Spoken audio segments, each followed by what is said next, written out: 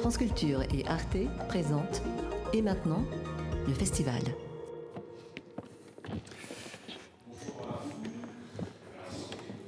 Ici, on peut se mettre là. Bonjour, bienvenue donc euh, au festival euh, Et maintenant. Euh, voilà, exactement, Vincent.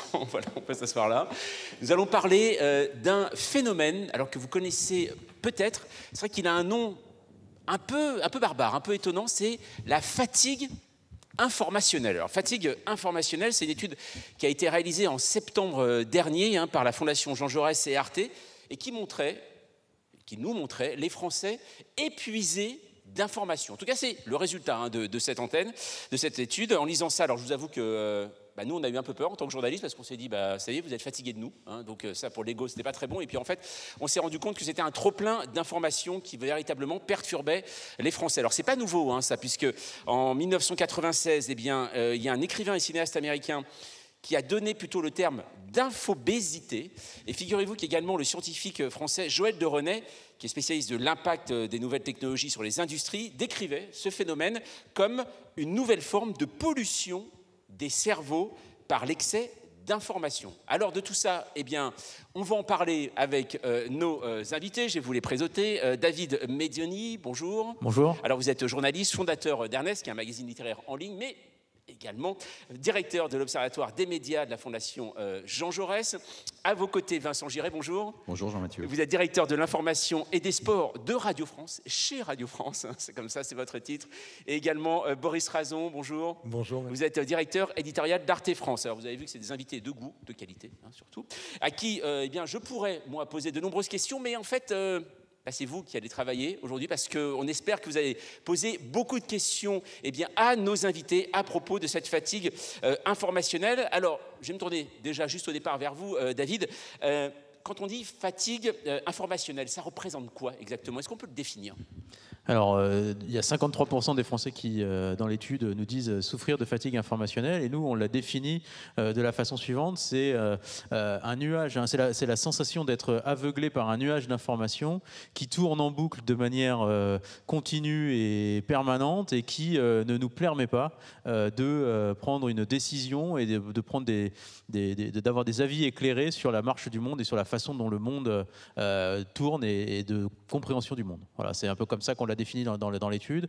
Et euh, donc 53% des Français nous disent en, souffrir régulièrement. Mais quand, quand on parle de, de souffrance, ça veut dire de souffrance, c'est-à-dire à ne plus comprendre en fait le monde, ou alors il y a parfois même une souffrance physique, voire psychologique par rapport à ça.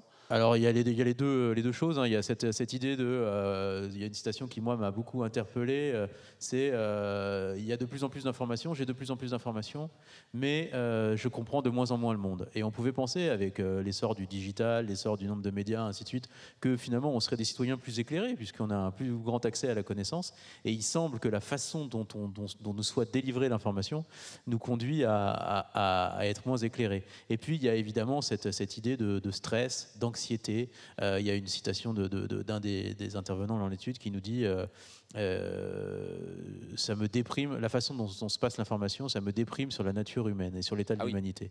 Donc il y a vraiment des, des, des, des- des- conséquences directes en fait. il y a des conséquences directes et il y a des conséquences de stress, d'anxiété et ainsi de suite. Les plus fatigués sont les plus stressés et sont les plus déprimés aussi. Alors Vincent Giret, justement vous, en tant que directeur de l'information, quand vous entendez ça, vous vous dites, est-ce que c'est nous, journalistes, qui faisons mal notre travail, ou alors finalement c'est aussi ce que dit aussi David, c'est cette multiplication des supports et le fait que euh, bien ça soit la même information qui soit traitée par autant de supports différents qui amène cette fatigue? Il y a une situation, mais on aurait bien tort de ne pas s'y intéresser, nous, professionnels de l'information, et de ne pas regarder ça. Finalement, ça change probablement beaucoup de choses, ou probablement il faut changer des choses dans l'exercice de notre métier. Mais si je, je- je poursuis un tout petit peu ce Oui. qui vient d'être dit, en fait, d'où ça vient? Euh, et je pense que chacun d'entre vous avait fait cette expérience-là, sans forcément la nommer telle que je vais vous la décrire là, mais euh, on, voit bien qu'on a tous on est tous concernés par ce, bombardement de l'information.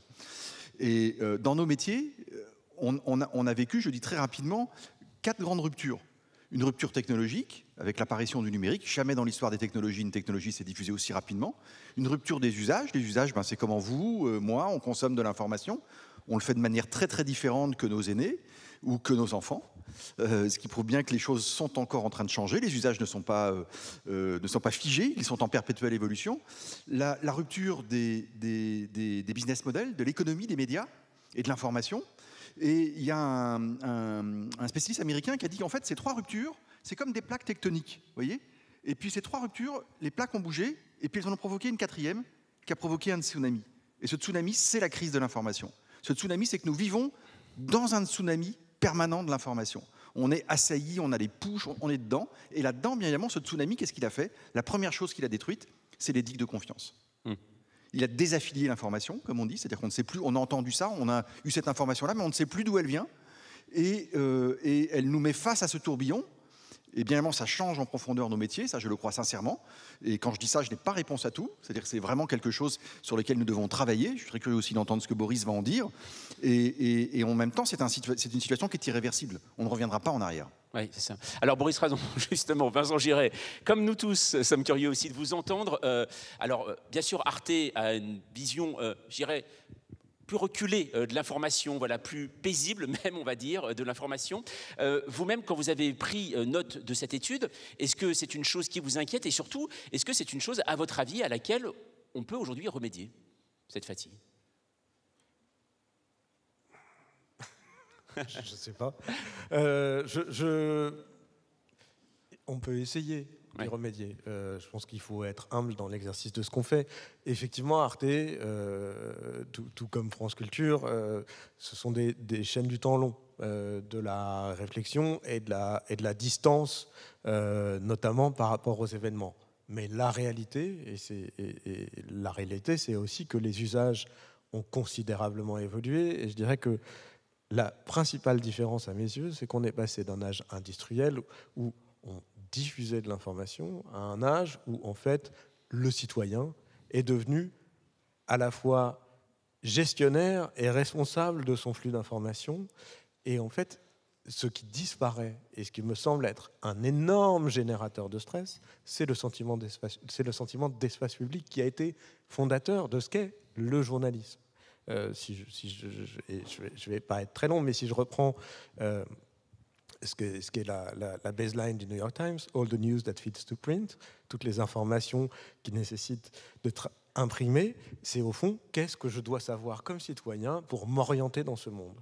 Quand moi, individu, j'ai des flux d'informations qui ne sont pas les mêmes que les vôtres, qui ne sont pas les mêmes que celles, que, que, que celles de mon voisin, et encore, en fait, bah, c'est mon monde qui lui-même est soumis à une forme de turbulence permanente. Donc, restaurer la confiance, c'est restaurer et tenter de refaire un espace public, ce qui est, je crois, en partie euh, l'ambition d'un festival comme celui-ci, par ailleurs. Alors, on va faire, j'ai vu que là, dans, justement, dans l'Assemblée, euh, il y a toute classe d'âge. Et on va voir justement si ça correspond au sondage que je vais vous révéler dans un instant. Je voudrais juste savoir, par, euh, si vous pouvez lever la main pour savoir en premier, le premier geste que vous faites pour vous informer le matin. Est-ce que, par exemple, le premier geste, ce sont les réseaux sociaux Qui le fait dans la salle? Voilà, donc en effet, on voit les plus jeunes euh, ici qui le font. Qui ensuite euh, écoute la radio en premier? C'est bien, on est à Radio France, c'est formidable. Euh, On a encore des auditeurs. oui, je pense, ça y est. Euh, qui lit un journal dans la journée? Ouais, alors, ça c'est numérique et papier. Est-ce qu'il y en a? D'accord. Et enfin, qui regarde la télé pour s'informer? Voilà. Donc en fait, on voit que c'est aujourd'hui, là, on a cette chance d'avoir beaucoup de gens qui écoutent la radio. Alors ce qui est assez étonnant, David, c'est que selon le sondage, euh, ben, c'est pas forcément trop ça, parce qu'en premier, la télévision, ensuite les réseaux sociaux, c'est à peu près ça, et ensuite c'est la radio et les journaux. Exactement, c'est ça. Et en fait, euh, finalement, euh, le, français qui s'informe aujourd'hui euh, est, confronté à 8,3 canaux d'information différents. Parmi ces canaux d'information différents, il y a les réseaux sociaux, il y a la télévision, il y a les journaux, la presse écrite, mais il y a aussi un fil Twitter, il y a aussi, pourquoi pas, les, les pushs de, de, son application Netflix qui viennent lui rappeler qu'il y a le dernier épisode qui est en ligne et ainsi de suite. Et finalement, c'est ça l'abondance aussi qui est créée aujourd'hui à travers travers, à travers l'information qui nous est délivrée. Pour, pour, juste pour rebondir sur ce que disaient Vincent et, Boris tout à l'heure, je pense qu'il y a aussi une dimension de, de, l'émotion autour de ça. C'est-à-dire que les, les, réseaux sociaux sont le lieu de l'émotion, le lieu où on, finalement on partage une émotion voyant cette émotion se, mettre en place, euh, les médias embrayent là-dessus, euh, ont, vocation à se dire tiens, il y a peut-être quelque chose à aller chercher dans cette émotion, dans cette audience-là, euh, à travailler. Et ensuite, il y a aussi les tenants de la parole publique. C'est pour ça que je pense que c'est une responsabilité collective, cette fatigue informationnelle. Les tenants de la parole publique, politique ou autre, qui aussi embrayent sur cette émotion et vont nourrir finalement un peu euh, le moment émotion, le grand cirque émotionnel dans lequel on peut parfois tomber euh, euh, dans les médias. Nous, on nous a cité, même depuis qu'on a publié l'étude, l'histoire de la reine d'Angleterre, la mort de la reine d'Angleterre. On nous avait parlé de, on nous a parlé aussi depuis l'étude de la polémique autour du char à voile du Paris Saint-Germain et des déplacements du Paris Saint-Germain et ainsi de suite. Et finalement, il y a cette, ou même l'Amazonie, les, les, feux en Amazonie. On nous dit, bah voilà, il y a des feux en Amazonie. On en parle pendant trois jours, quatre jours c'est euh, tous les gros titres euh, des médias. Et puis finalement, demain, les feux continueront, mais on n'en parlera plus. Et il y a cette, dimension de euh, on est sur l'émotion et moins sur l'information. On essaye d'étonner plutôt que d'informer, qui est aussi sous-jacente dans l'étude qu'on a réalisée. Alors, on a des micros hein, à votre disposition. voilà, moi, j'aimerais bien vous entendre justement sur vos témoignages. Est-ce que vous-même, vous avez eh l'impression d'être victime de fatigue informationnel. Et euh, bien sûr, vous pouvez vous poser toutes les questions que vous voulez. Euh, est-ce qu'il y a quelqu'un euh, là dans la salle qui veut poser une question, un témoignage à propos de, eh bien, de cette confrontation justement d'informations? Oui, je vous en prie. Juste là. Alors, on va vous donner un micro. Voilà. Bonjour tout le monde. Oui, bonjour. Ben moi, pour ma part, il y a quelques années, j'adorais m'informer euh, sur le monde, etc. Donc je, lisais les, news comme tout le monde, euh, dès euh, le début de la journée, etc. Sauf que depuis qu'il y a eu le Covid, etc., qu'on était exposé à beaucoup d'incertitudes et qu'on savait, il y a eu, moi j'ai vu beaucoup d'amis à moi qui étaient des personnes très raisonnées, très rationnelles, pragmatiques, qui sont tombées dans des théories de complot, etc. Parce que comme ils ne trouvaient pas l'information à leurs yeux fiable, ils sont allés euh, euh, s'orienter vers des sources euh, pas forcément fiables, justement pour le coup. Hmm. Et puis, il y a eu, après, juste après le Covid, il y a eu l'Ukraine, la, guerre en Ukraine, etc. Maintenant, on nous bombarde des infos sur le réchauffement climatique avec le rapport de, du GI, je ne sais plus. Voilà. Et et en fait, et moi, au bout d'un moment, je sais que ça commençait vraiment à provoquer une vraie, une vraie anxiété en moi, et au point que j'étais arrivé à un stade où j'ai coupé. J'arrivais plus à lire les infos. D'accord. Et c'est le cas encore aujourd'hui? Non, maintenant ça va mieux, mais j'ai dû prendre une certaine distance pour un peu euh, me recentrer. Mais vraiment, au bout d'un moment, comme je disais, il y avait post-Covid, euh, guerre en Ukraine, réchauffement climatique, MeToo, ah. balance temps par euh, comment ça s'appelle déjà Ça vous a marqué, apparemment Oui, il y avait plein de. c'est ça. Euh, Vincent, justement, quand, on entend ce témoignage, c'est intéressant parce que là, on voit clairement que là, on est dans un problème, je dirais pas de faire le tri de l'information, mais de ce trop-plein, justement, euh, d'informations. Est-ce que la solution, entre guillemets, on va essayer de trouver une solution, elle est aussi de bien choisir son média? Alors, euh, bien sûr, mais l'expérience que, que, vous avez faite, on, l'a faite aussi. je pense que chacun d'entre nous pourrait se reconnaître dans ce que vous avez dit. Il y a, il y a, il y a une, il y a une période, euh, on va dire que l'information a été très très anxiogène. Elle l'est souvent, voilà, elle l'est souvent parce que on parle de choses qui sont difficiles, mais on est dans un monde très complexe où il y a beaucoup de choses aussi qui sont succédées. On dit une succession de crises, même si le climat n'est pas une crise parce que c'est plutôt un, sujet de transition, de transformation. Mais voilà, on, est, dans des choses qui sont, euh, qui sont euh, et, cette, singularité aussi du paysage de l'information et du tsunami que j'évoquais tout à l'heure, c'est que bien évidemment. Euh, ça a donné une place à exposer la désinformation de manière inégalée.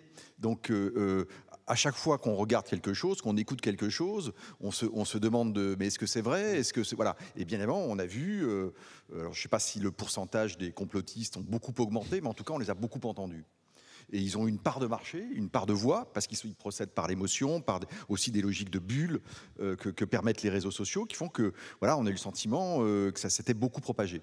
Donc il y a en fait ce qu'on est en train de, ce à quoi on est en train de réfléchir en vous écoutant, c'est de se dire est-ce qu'il y a une hygiène en fait? Est-ce qu'il y a une hygiène de l'information? Euh, du côté du récepteur, mais peut-être aussi du côté du producteur de l'information. Euh, est-ce qu'on est capable de réinventer quelque chose? Est-ce que euh, c'est vrai que si vous allumez la radio le matin et que vous avez le sentiment, pour reprendre votre expression, que vous vous faites bombarder de choses qui sont complexes, auxquelles on n'a pas une solution tout de suite, etc.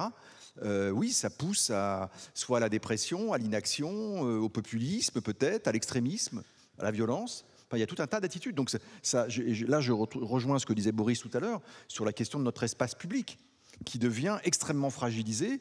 Où, euh, voilà. Et là où on a une responsabilité, je termine juste là-dessus, c'est que euh, notre responsabilité à nous, et dans les, certains sujets que vous avez évoqués, il devrait y avoir, je pense qu'il faut, et je pense qu'on a tous à balayer devant notre porte, une attitude euh, extrêmement réfléchie sur le fait de ne pas hystériser des sujets qui sont en fait à la périphérie des centres d'intérêt des Français. Quand vous hystérisez, vous faites quatre jours sur un tour de karting dans une prison, euh, ou quatre jours sur un, autre sujet, et voilà, il y en a presque tous les jours. À un moment donné, je pense que à un moment donné, vous dites non mais ça je l'ai déjà entendu, je coupe là, je passe à autre chose. Bon, et ça, euh, pas simplement dans les chaînes d'information en continu, hein, mais d'une manière générale, dans la façon dont nous produisons de l'information, c'est une vraie réflexion. Et euh, voilà, il y a beaucoup d'autres réponses possibles, mais je pense qu'il y aura d'autres occasions d'y revenir. En effet. On va entendre monsieur euh, au premier rang. Non, je, je, continue à réfléchir aussi par rapport à ce que monsieur vous disiez. Est-ce que le débat, il est uniquement sur le contenant? Est-ce que notre problème, il n'est pas aussi le contenu de ce qu'on voit, de ce qu'on vit et tout? Or, on est vraiment dans une période historique étrange. Et si on regarde les résultats du questionnaire, on voit bien que pour une majorité de jeunes, pour etc., les, les préoccupations majoritaires sont absolument pas celles du journal télévisé. Et que donc l'avenir de la planète, l'écologie, le système éducatif, le système de santé, tout ça sont des enjeux absolument cruciaux. Et si je reprends les débats qu'on avait ici l'an dernier avec Bruno Latour, on parle bien d'enjeu civilisationnel, qui est quelque chose qui se produit une fois tous les 300 ans. Hmm. Bon, il y a un monde à recomposer. Est-ce que la formation telle qu'elle est rend compte de ça? Ou est-ce qu'effectivement, entre la reine d'Angleterre et euh, tous les faits divers qu'on peut, qu'on peut donner, est-ce qu'on est vraiment bien dans notre époque? C'est-à-dire, qu'est-ce que la saturation? Qu'est-ce que la fatigue? Or, l'info profonde et qui fait sens est totalement anxiogène car un monde se termine.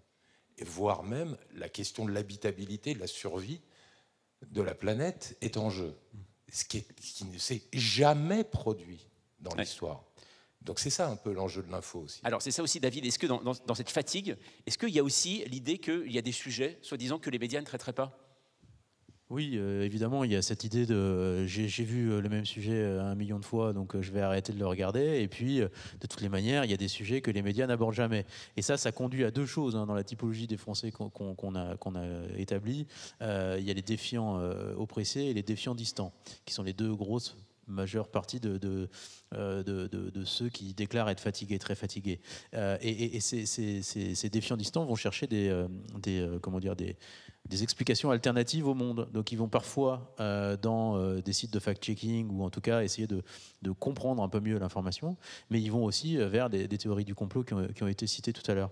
Et puis pour rebondir juste sur ce que disait monsieur à l'instant, je trouve que peut-être que dans l'économie de l'attention dans laquelle on est, cette attention est une ressource. Et finalement, vu qu'elle est toujours stimulée, toujours recherchée par à la fois les réseaux sociaux, par les médias, par finalement tout un tas de, de canaux qui nous cette émotion est une ressource en train de s'épuiser. Et donc je crois que pour reprendre un peu cette analogie autour de, l'hygiène ou de la sobriété, il convient pour chaque citoyen de se reposer son propre rapport à l'information, quelque part de réfléchir à son empreinte carbone à l'information, euh, et les journalistes de, faire notre métier aussi dans, la hiérarchisation euh, de, ces informations et de comment on les délivre euh, aux citoyens. Je crois que c'est peut-être une voie d'amélioration en tout cas et une voie de sortie pour faire diminuer la fatigue. Et Boris raison, on est véritablement euh, là-dessus, dans cette réflexion-là?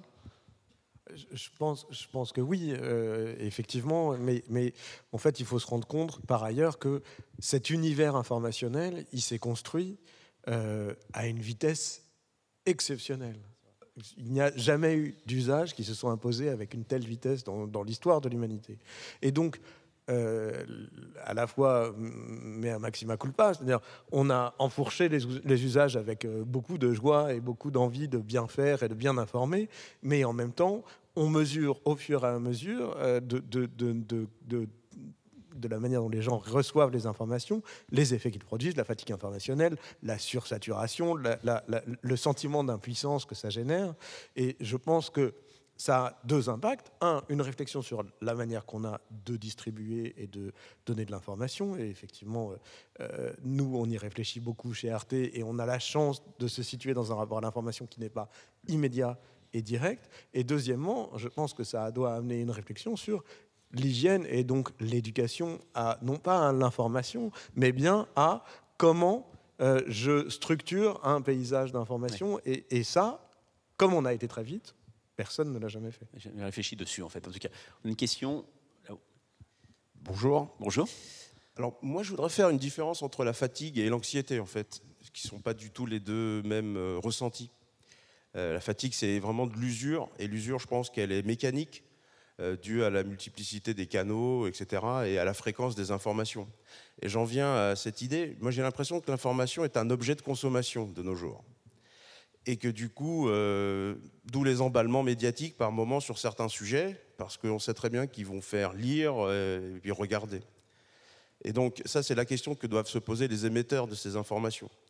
Et il y a une autre question euh, sous-jacente qui est le traitement de l'information et le temps de traitement de l'information de chaque individu, qui est un temps qui tend vers zéro de plus en plus. Et je pense que cette fatigue, elle est aussi due, enfin, elle pour moi, les conjointes, à ces deux effets. Vincent euh, Oui, je, réfléchissais en vous écoutant. On, est, euh, comme disait Boris à l'instant, dans un paysage saturé, hyper concurrentiel de l'information. On est dans cette bataille de l'attention. Mais ce qui a changé aussi, c'est que euh, si on est dans ce tsunami, c'est que des milliards de médias sont créés parce que chacun d'entre nous est devenu un média. Donc euh, il n'y a plus simplement des émetteurs d'un côté professionnel, euh, médias structurels, euh, anciens, traditionnels, disait-on, mais nous-mêmes, chacun d'entre nous, nos enfants sont devenus des médias, prennent une part d'attention, partagent, publient. donc on est partie prenante d'un paysage où justement les statuts ont changé. Et on, pouvait, on a pensé à un moment donné que c'était une très bonne chose que les statuts changent précisément. Et c'est ce que permettait Internet de renverser la table finalement. Et de se dire, bah, ces institutions se démocratisent et c'est euh, la salle qui fait le spectacle. Euh, voilà, bon, et en même temps, bien évidemment, on a quand même besoin euh, de, professionnels de l'information. Je, je, le crois vraiment. En tout cas, c'est un métier qui s'est beaucoup sophistiqué, euh, nous avons des nouveaux outils, nous travaillons avec de l'intelligence artificielle, on a besoin de, de, transformer euh, nos, façons de travailler, de, travailler avec le son, avec l'image. Euh, on, on, travaille beaucoup plus de manière hybride. pour essayer de capter de l'attention et de répondre à une certaine idée qu'on se fait de l'information. Et puis la façon dont on peut distinguer la fatigue et, le caractère anxiogène aussi, il y a quand même dans des, dans des solutions, on est dans une maison euh, euh, où là il y, a, il y, a, au moins deux témoignages de médias qui pratiquent ça à très grande échelle, c'est l'écoute à la demande. Le podcast, c'est quelque chose qui vous sort du flux et que vous allez écouter quand vous le souhaitez, au moment où vous êtes disponible, euh, qui vous redonne de la capacité d'attention et de la même manière que euh, euh, et on voit bien que la chronologie d'ailleurs des mm. médias et, Arte a été totalement pionnier en, la matière c'est-à-dire a mis des séries des films des émissions disponibles avant, sur le numérique avant même leur passage dans, dans, le flux euh, de la télé ou de la radio. Et donc ça, c'est une façon, et je pense que beaucoup d'entre vous ont, déjà cette pratique-là, c'est-à-dire que bah, de temps en temps, on ferme le, poste, euh, la radio ou le journal, et puis on va choisir quelque chose à notre rythme. On est un peu dans le slow news, comme on dit.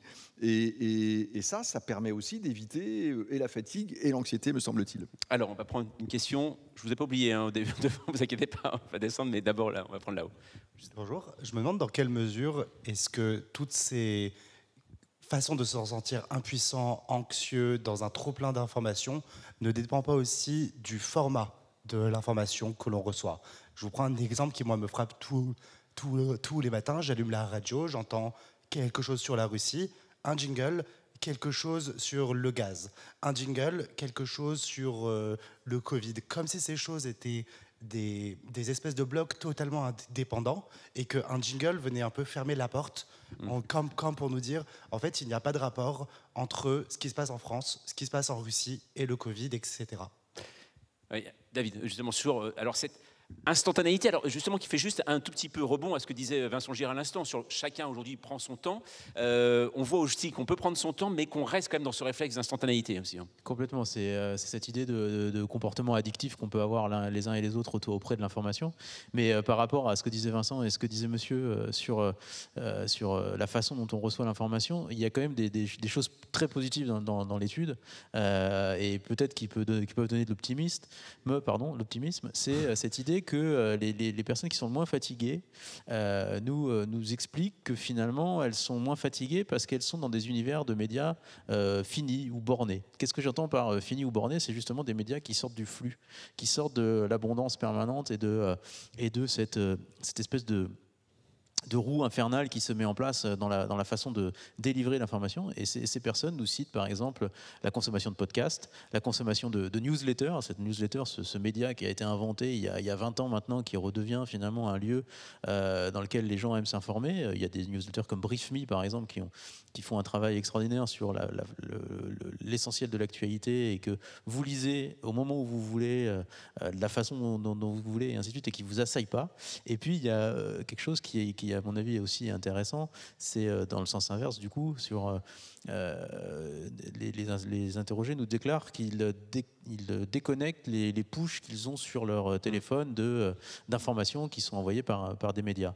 Et, certainement qu'il y a un travail à, à faire sur euh, le, nombre de pushes qu'on envoie par jour euh, en tant que média euh, à, nos, différents abonnés. Juste une chose, tout de même aussi, ça, ça vous intéressait tous, mais, en tant que dirigeant dans les médias, bien sûr les push, mais si je me fais un peu l'avocat du diable, je me dis, il y a aussi une concurrence entre médias.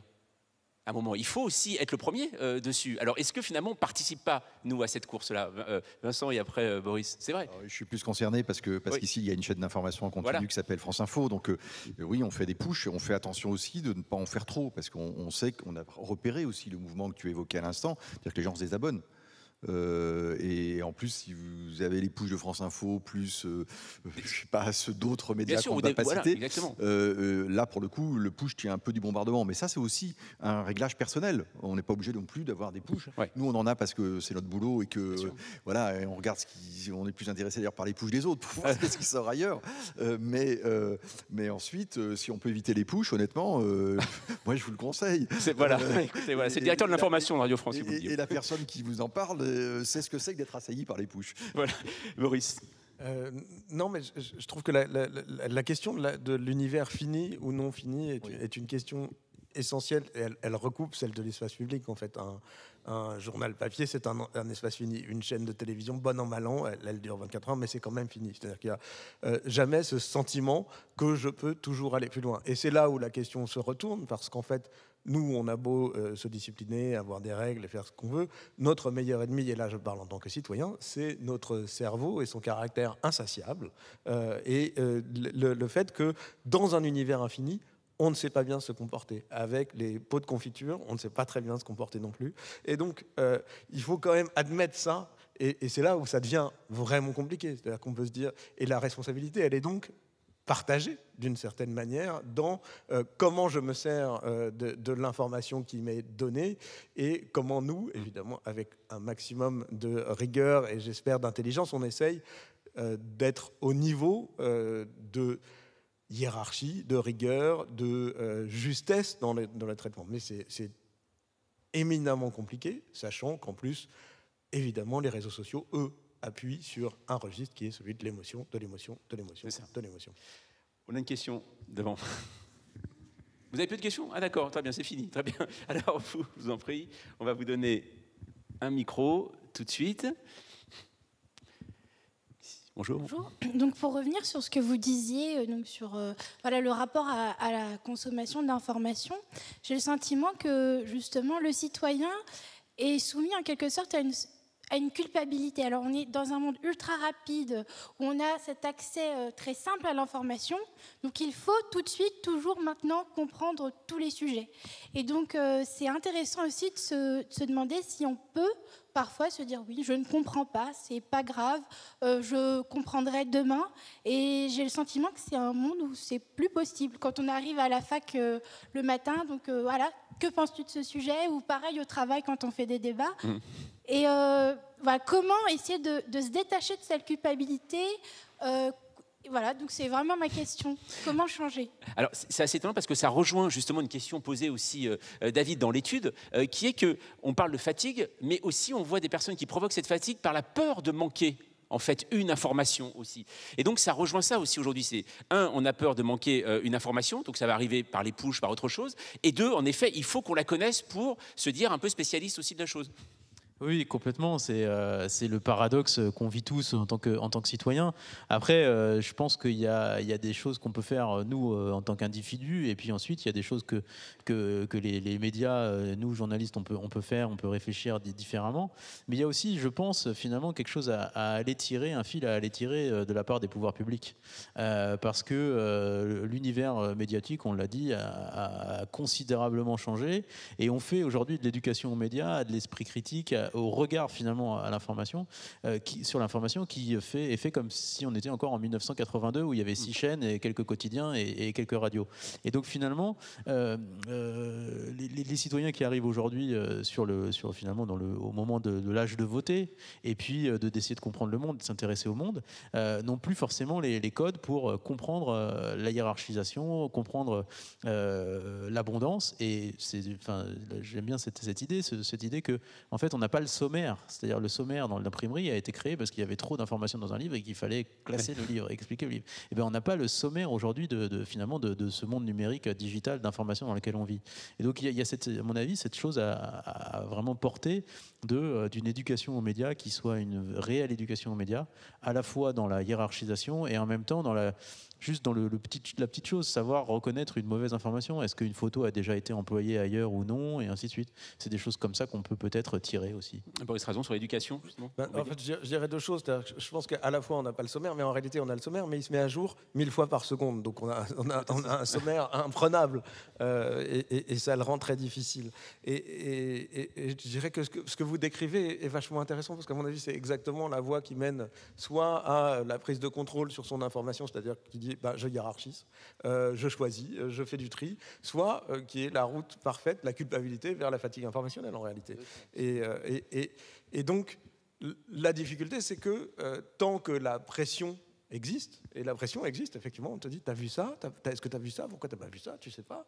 Euh, ce qui vient de se passer à l'instant, bah, c'est très difficile d'y résister. Et, et vous parliez de la, la peur de fear of missing out, Euh, la peur d'être passé à côté de quelque chose, elle existe. Et maintenant, on a un nouvel acronyme qui est sorti, qui est lié à la fatigue informationnelle, qui est relief of missing out, c'est-à-dire le soulagement d'être passé à côté. De, de- Ah, le soulagement d'être pas- ah, d'accord, Ah, mais- oui, ah, c'est- c'est le, le- le fruit de la fatigue, c'est ça. C'est-à-dire, c'est finalement, j'abandonne, je sors du flux, et au fond, je n'ai plus ces, ces informations qui m'arrivent. Et d'une certaine manière, je reprends le contrôle. Alors, c'est- à la fois, je suis moins informé, je ne suis pas forcément très au courant de ce qui se passe, mais effectivement, je n'ai plus cette injonction à être informé qui m'arrive. Rapidement, s'il vous plaît, Vincent. Oui, moi j'ai beaucoup aimé le mot culpabilité que vous avez utilisé. Et, euh, et- et il m'interroge aussi en tant que professionnel de l'information. Par exemple, sur le sujet climatique, si euh, la tonalité de ce qu'on peut produire, de ce qu'on peut faire pour informer les gens, euh, euh, pousse à la culpabilité euh, ou euh, au blâme ou au, fait de, bouc émissaire, etc., etc., non seulement ça concourt à l'impuissance, mais ça concourt au découragement aussi.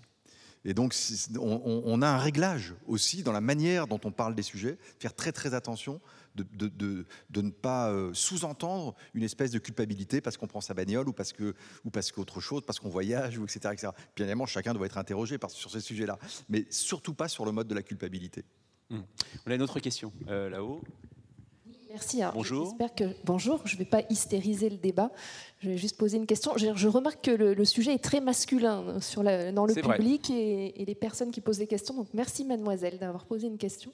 Très bien. Euh, Et du coup, je sais plus ce que je voulais Ah bah dire. voilà, je bah me nourris écoutez, de tout ce que cette, vous c'est cette fatigue, à mon avis, C'est déjà informationnelle. la fatigue. Mais en fait, je travaille dans la communication et j'ai travaillé dans le journalisme, mais c'est presque une faute professionnelle de ne pas s'informer dans, dans ces métiers-là. Et c'est vrai que euh, vous parliez du FOMO, ce, ce sentiment de manquer quelque chose, c'est- c'est presque une drogue aussi, cette consommation d'informations. On est un peu tous addicts à ça. Alors la solution, ça serait quoi? Ça serait de devenir un, euh, un- un citoyen éveillé, en fait, parce que vous parliez, euh, monsieur, de, de surabondance. On est dans une société aujourd'hui où on a trop de choix.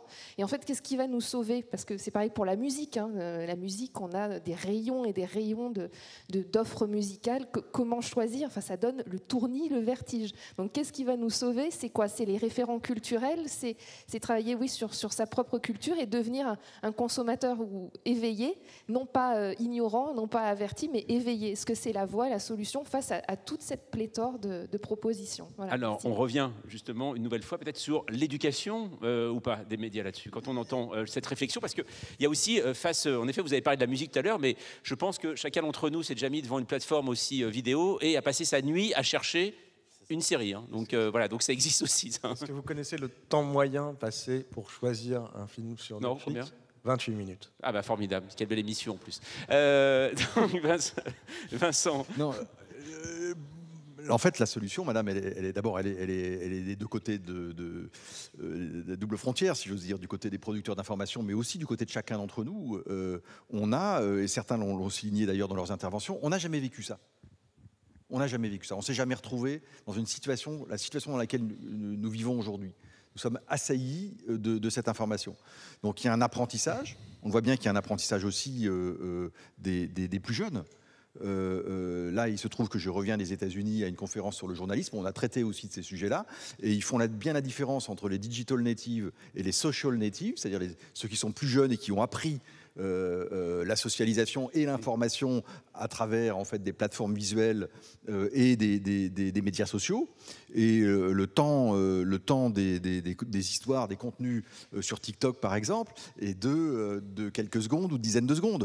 Donc vous voyez bien que là, il y a- il y a- ça- et ça fabrique des pathologies, tout un tas de- de- de- d'attitudes, d'humeurs, etc., qui vont devenir problématiques à l'échelle d'une société.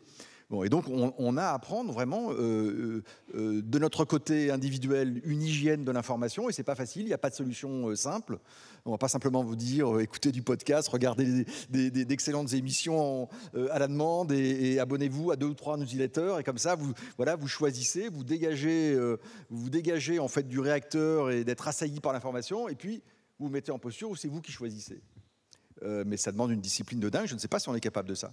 oui, c'est ça aujourd'hui la réflexion. Une autre question là-haut, bonjour. Oui, bonjour. Euh, on aborde le sujet de, du flux information- d'informations d'un point de vue du citoyen et du média.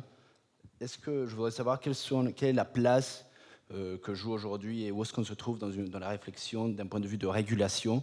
Est-ce qu'il y a des pistes de, de réflexion autour de ça? Est-ce qu'il n'y a pas une responsabilité politique également dans ce flux d'informations aujourd'hui?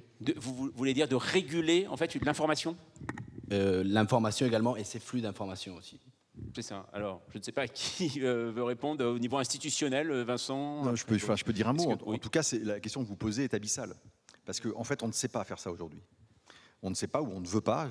Chacun peut avoir une idée là-dessus, mais c'est très compliqué puisqu'en fait, ces plateformes, c'est des plateformes qui euh, dépassent de très loin le- les espaces des frontières. Donc, c'est des, plateformes globales. Et, euh, et- là aussi, on est dans un monde qu'on ne connaissait pas auparavant. C'est comment on régule euh, des, plateformes qui, ont, une puissance euh, et financière et technologique parfois supérieure à bien des États.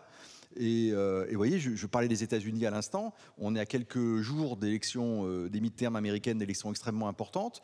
Euh, la grande préoccupation de la conférence à laquelle j'ai assisté, c'était euh, le big lie. Le big lie, c'est quoi? C'est le grand mensonge. Et en fait, comment les plateformes et notamment Facebook, ont contribué à propager, à répandre, à diffuser cette idée complotiste que l'élection de 2020 était volée. Et, et- et donc là, on voit bien quelque chose qui est totalement destructeur de la démocratie, euh, puisqu'il y a quand même une bonne partie des Américains qui croient toujours que cette élection a été volée, euh, et, on ne sait pas réguler ça. Et donc comment on régule euh, tout en restant euh, quand même dans un paysage de liberté de l'information, de, droit d'expression euh, c'est extrêmement compliqué et, et- et on n'a pas la solution à l'heure où on se parle. Alors, juste avant de prendre euh, des questions, euh, Boris, euh, alors sur cette liberté, parce que ça touche en fait, le sujet aujourd'hui touche justement cette liberté euh, aussi euh, d'information. euh, Est-ce qu'aujourd'hui, les États, les gouvernements ont leur rôle euh, dedans, ou alors ça serait trop nous priver de liberté? Alors, ça regroupe tellement de questions que c'est difficile de répondre. Moi, je voulais juste rebondir pour dire qu'il y a un phénomène qu'on n'a pas évoqué, mais qui est quand même le fait que le champ de l'information est un champ aussi qui n'est pas du tout neutre aujourd'hui. C'est-à-dire l'espace de l'information est un espace qui est devenu investi, parfois par des États, parfois par des puissances privées, euh, comme un espace de conquête, voire de guerre, euh, et que, euh, je veux dire, la question de l'élection de 2000 de 2020 et du vote de l'élection de 2020, elle fait suite à l'élection de 2016, où, pour le coup, c'est documenté, le pouvoir russe a mené une opération de désinformation massive, redoutable et exceptionnelle, euh, à la fois, je dirais, d'un point de vue mécanique par son intelligence et par ses effets, euh, qui fait que, de fait, le terrain dans lequel on se situe n'est plus du tout, du tout, du tout stable. Et- mais la question de la régulation, elle, est éminemment complexe et donc Oui, par ailleurs. Alors, on a le temps pour une dernière question, et euh, après, je vous laisse. Si, si- si vous le dites, Jean-Mathieu. Il paraît, hein, moi c'est ce qu'on m'a dit, non C'est pas ça J'ai eu des informations contraires. Mais une dernière question. Une oui. dernière question Bien sûr, une dernière Une question. question, ça va vous faire plaisir, vous allez voir. Pardonnez-moi, ça va peut-être euh, revenir un petit peu à, de, de quelques minutes en arrière. Euh, bon, moi, j'ai levé le doigt pour le- la radio, la télévision, les journaux. Quant aux réseaux sociaux, euh, vu mon âge, et je pense que je suis tout à fait de l'avis de monsieur, pour moi, c'est pas la salle qui fait le spectacle. Donc l'information, pour moi, l'information, hein, au sens euh, fort du terme, elle n'est pas là. Donc bon. Et puis, euh, si à mon âge, euh, je ne suis pas éduquée à l'information, là, ce serait, ça deviendrait vraiment grave, parce que l'expérience est là. Alors, moi, c'est dans la manière hein, que j'ai quelque chose qui me fatigue, entre guillemets, à votre sens, et qui me peine aussi beaucoup depuis un certain temps, c'est la tonalité. C'est la montée qu'il y a dans la présentation de l'information, de l'ironie et même du cynisme. Et euh, souvent confondu, me semble-t-il, avec un regard critique sur la réalité, enfin, sur l'information. J'ai beaucoup pour ma part, c'est peut-être un effet de génération, mais je pense que quand même il y il y a du cynisme aussi là-dedans. J'ai beaucoup noté la part qui a été prise à la disqualification de la politique, du politique, des politiques, plus rien ne vaut, tous des pourris, plus de partis, tous vendus, euh, voilà, voilà. Quand même, je pense que le, même les bonnes... euh, moi, je suis service public, hein, vous l'aurez compris, France Culture d'abord, France Info, oui, France Inter, oui, et France Musique, parce que c'est quand même C'est une formidable. bouffée. Euh, vous êtes parfaite, madame. Bravo. une- Non, non, Bravo pas à du vous. tout. Il- pas il du en tout manque parfaite, quand même. pas Bien sûr. Il en manque encore. Le parfait n'est pas de ce monde. Donc moi, ça, ça me chagrine beaucoup. De même, quand même souvent, en deux mots, le manque de nuances, le manque de complexité. Euh, je dirais aussi, on cède à la mode. Bon, mais ça, bon. Euh, ce- je dirais juste un mot, une trop grande promotion de l'émotion. Et des fois, moi, je me dis, mais la fatigue, elle est où? Elle est chez moi ou elle est dans les journalistes que j'écoute et qui me parlent avec autant d'ironie, de cynisme et de relativisme Alors, placé. écoutez, madame, je vais faire mon journaliste. Malheureusement, je vais faire le maître du jeu. En fait, vous avez synthétisé à vous tout seul toute la discussion. Voilà, c'est formidable. Vous êtes invité, en tout cas, pour un stage de journalisme à Radio France. Merci beaucoup, en tout cas, Vincent euh, Giret, Boris Razon et euh, David Medioni d'avoir participé à cette table ronde.